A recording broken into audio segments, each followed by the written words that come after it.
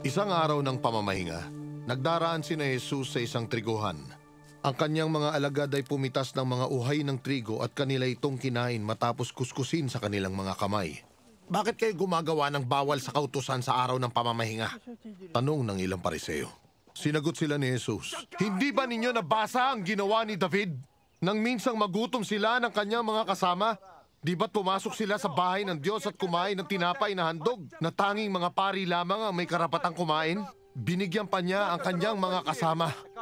At sinabi pa ni Jesus, ang anak ng tao ay siyang Panginoon ng araw ng pamamahinga.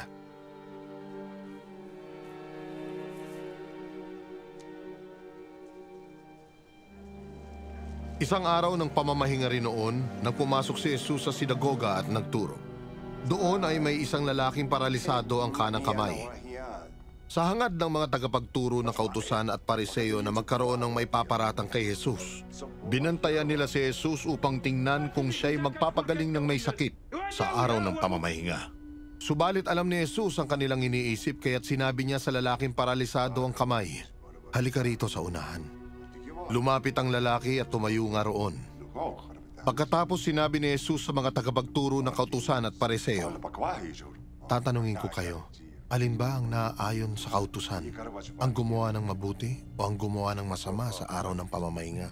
Ang magligtas ng buhay o ang pumatay?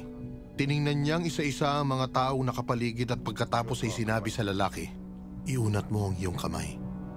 Iniunat nga ng lalaki ang kanyang kamay at ito'y gumaling. Nagngit-ngit naman sa galit ang mga tagapagturo ng kautusan at mga pariseo at pinag-usapan nila kung ano ang dapat nilang gawin kay Jesus.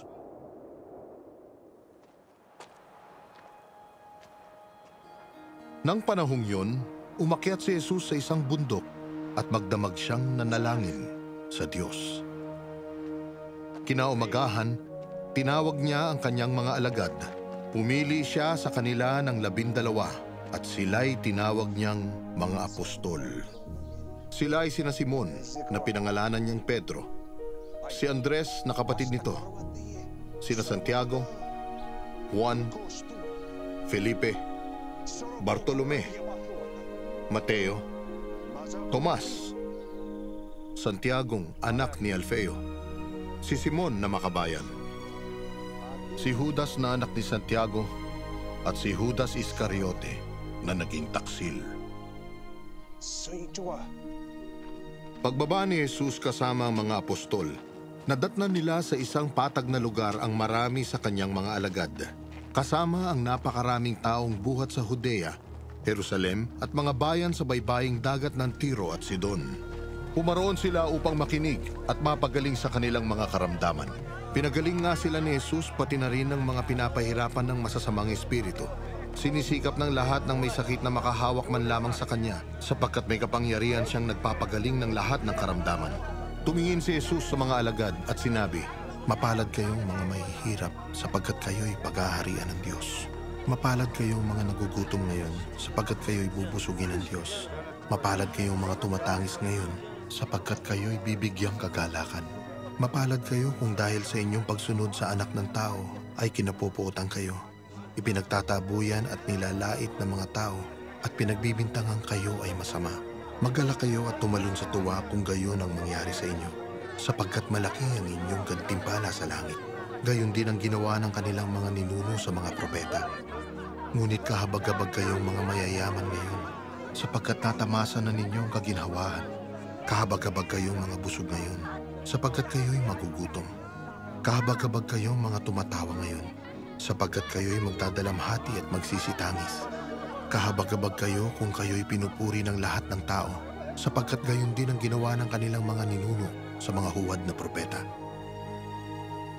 Subalit sinasabi ko sa inyong mga nakikinig sa akin, mahalin ninyo ang inyong mga kaaway at gawa ng mabuti ang mga napupuot sa inyo.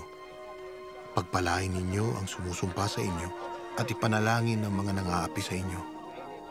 Kapag sinampal ka sa isang pisngi, iharap mo rin ang kabila.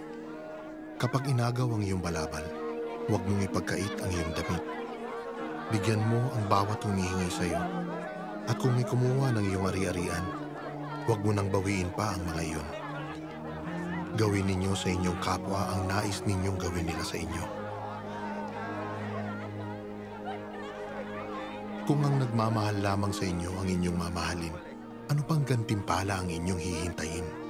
Ang mga makasalanan man ay marunong ding magmahal sa mga nagmamahal sa kanila. Kung ang mga nagmamabuti lamang sa inyo ang inyong gagawa ng mabuti, ano pang gantimpala ang inyong hihintayin?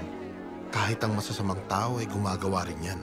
At kung ang makakabayad lamang ang inyong pauutangin, ano pang gantimpala ang inyong hihintayin? Kahit ang masasamang tao ay nagpapautang din sa kapwa nila masama sa pag-asang sila'y mababayaran. Sa halip mahalin ninyo ang inyong mga kaaway at gumawa kayo ng mabuti. Magpahiram kayo na hindi umaasa ng anumang kabayaran. Sa gayon, malaking gantimpala ang tatamuhin ninyo at kayo'y magiging mga anak ng kataas-taasang Diyos sapagkat siya'y mabuti kahit sa masasama at sa mga hindi marunong tumanaw ng utang na loob. Maging mahabagin kayo tulad ng inyong ama. Huwag kayong humatol at hindi kayo hahatulan. Huwag kayong magparusa at hindi kayo paparusahan ng Diyos. Patawarin ninyo ang inyong kapwa at kayo'y patatawarin din ng Diyos. Magbigay kayo at kayo'y bibigyan ng Diyos. Hustong takal, siksik, liglig, at umaapaw pa ang ibibigay sa inyo. Sapagkat ang panukat na ginagamit ninyo sa iba ay siya ring gagamiting panukat sa inyo. Tinanong sila ni Jesus ng patalinhaga, Maaari kayang mag-akay ang isang bulag ng kapwa niya bulag? Pareho silang mahuhulog sa hukay kapag ginawa nila ang ganoon. Walang alagad na nakakahigit sa kanyang guro. Ngunit matapos maturo ang lubos, ang alagad ay makakatulad ng kanyang guro. Bakit mo pinapansin ang puwing ng iyong kapatid, ngunit hindi mo pinapansin ang troso sa iyong mata? Paano mo masasabi sa iyong kapatid, Kapatid, hayaan mong alisin ko ang iyong puwing. Gayong hindi mo nakikita ang trosong nasa iyong mata. Mapagkunwari, alisin mo muna ang troso sa iyong mata na makakita kang mabuti. Sa gayon maaalis mo ang puwing ng iyong kapatid. Walang mabuting punong kahoy ang namumunga ng masama at wala ring masamang puno ang namumunga ng mabuti. Nakikilala ang bawat puno sa pamamagitan ng kanyang bunga sapagkat hindi nakakapitas ng igos sa matitinik na halaman o ng ubas sa mga dawag. Ang mabuting tao ay naglalabas ng mabuti mula sa kanyang pusong sagana sa kabutihan. Samantalang ang masamang tao naman ay naglalabas ng masama mula sa kanyang pusong tigib ng kasamaan. Sapagkat kung ano nag-uumapaw sa puso, ay siyang sinasabi ng labi.